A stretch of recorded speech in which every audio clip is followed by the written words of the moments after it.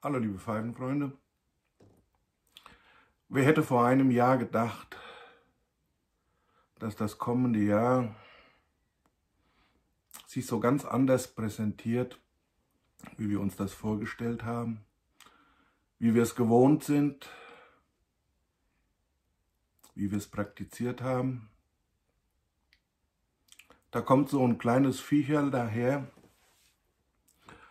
und daraus resultierende Auflagen an uns,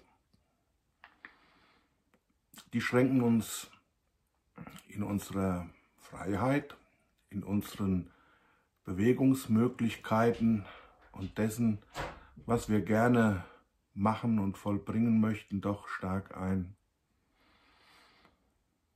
Aber nun ist es nun mal so, wir müssen uns dem beugen. Wir müssen da versuchen, das Beste daraus zu machen. Es war wieder eine dieser vielen Sondersendungen der ARD. Da sagte Rainer Hasselhoff, der Ministerpräsident von Sachsen-Anhalt, wir wollen Weihnachten retten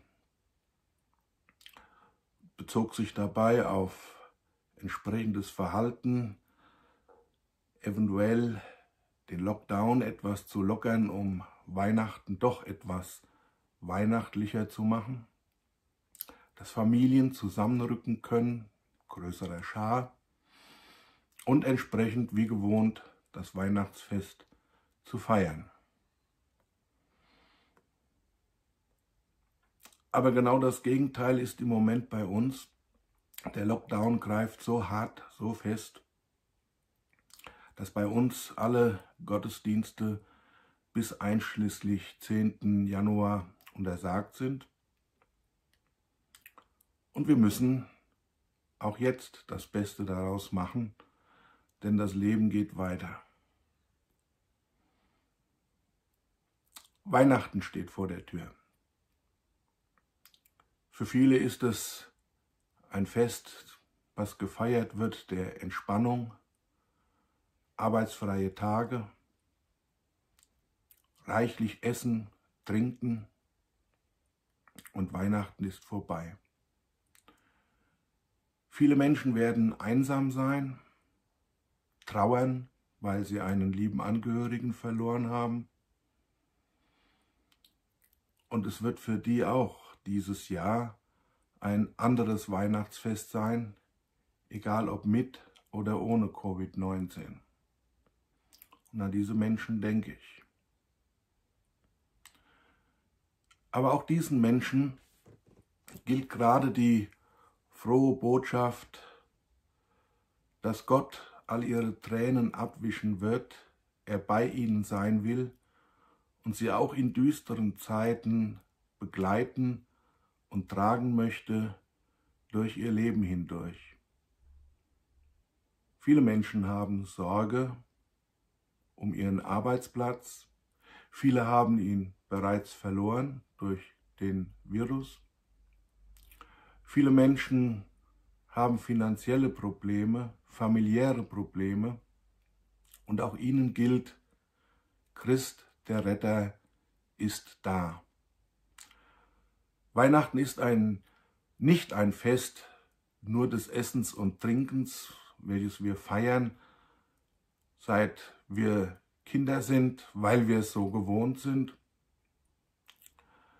sondern wir feiern die Geburt Jesu im Stall von Bethlehem.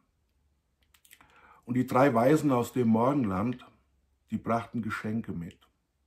Gold, Weihrauch und Myrrhe.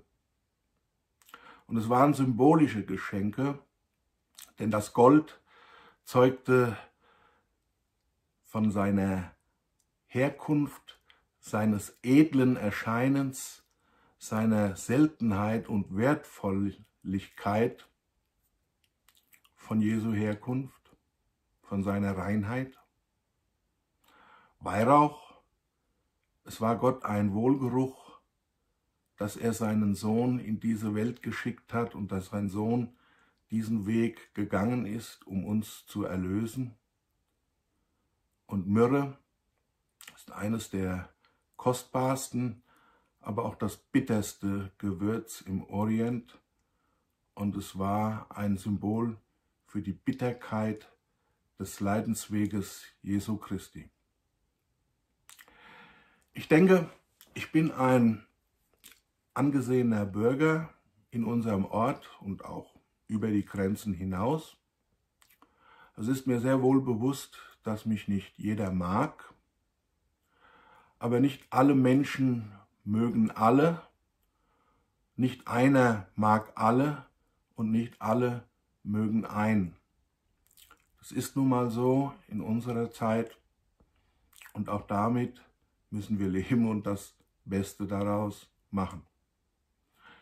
Aber darum geht es eigentlich gar nicht, wie wir vor Menschen dastehen, welches Ansehen wir genießen, sondern die alles entscheidende Frage ist die, vor die jeder steht, wie stehe ich vor Gott da?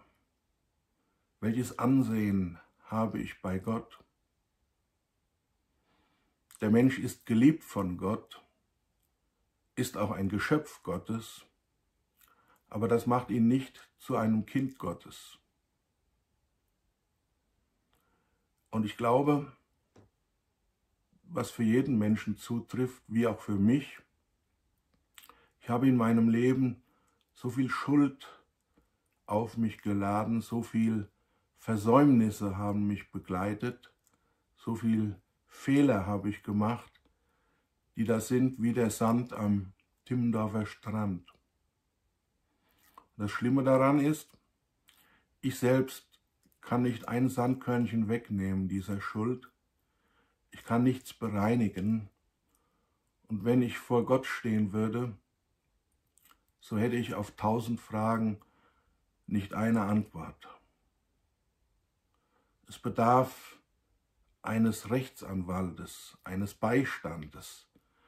Es bedarf einer, der mich begleitet und mich vertritt. Und dazu ist Jesus Christus in diese Welt gekommen, um der Welt Sünde zu tragen, um die Menschheit zu erlösen. Wir tauschen Weihnachtsgeschenke aus, wir werden beschenkt und es ist ein Spiegelbild von dem, was Gott uns schenkt. Er schenkt uns seinen Sohn. Und im Glauben, dass Gott seinen Sohn in diese Welt gesandt hat und dass er in der Lage ist, der Welt Sünde zu tragen, dass wir seine Leidens, seinen Leidens- und Erlösungsweg annehmen, das macht uns zu Gottes Kinder und Miterben seines Reiches. Und so bin ich gewiss, dass am Ende meiner Tage auf dieser Welt ich durchgehe wie durch eine Tür in Gottes ewiges Reich. Egal was noch kommt, egal was noch sein wird, Jesus weiß es und er wird mich führen und tragen, so wie er mich all die Jahre bis auf den heutigen Tag geleitet und getragen hat. Viele Menschen meinen, wenn ich an Christus glaube, so werde ich eingeengt, so werde ich eingepfercht, meine Bewegung, meiner Bewegungsfreiheit beraubt.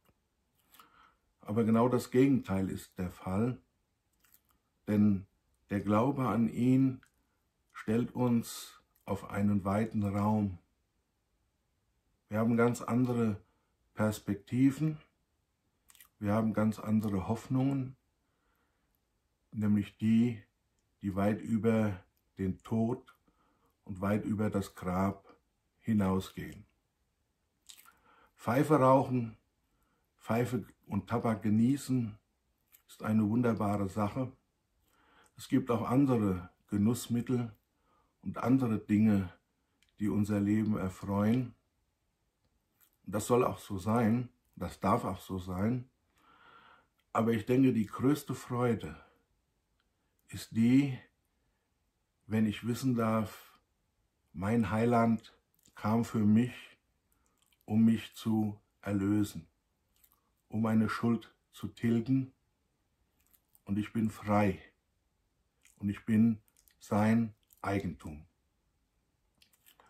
Und das wünsche ich euch von ganzem Herzen, dass ihr darüber nachdenkt, dass ihr euch Gedanken um Sinn von Weihnachten macht, dass ihr Weihnachten mit euren Familien in Freude, in Ruhe, in Besonnenheit und in Zufriedenheit feiert, in dem Wissen, das größte Geschenk, was wir empfangen dürfen und empfangen konnten, das ist das Geschenk Gottes, welches er in Liebe zur Menschheit gegeben hat, seinen Sohn, Jesus Christus, für mich, auf das ich leben soll, auf das ich einen Fels habe, der nicht wankt, ein Fels, auf dem ich